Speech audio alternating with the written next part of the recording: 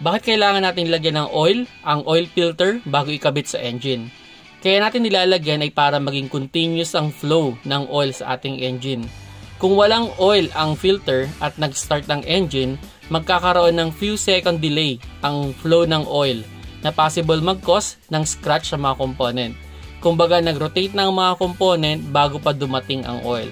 Mga 1/4 cup of oil lang naman ang dapat ilagay. Enough lang na makover ang paper sa loob ng filter. Then, kaya din natin nilalagyan ng oil ang gasket ng filter para sa time na tatanggalin natin ang lumang filter ay hindi didikit ang gasket sa bay ng filter.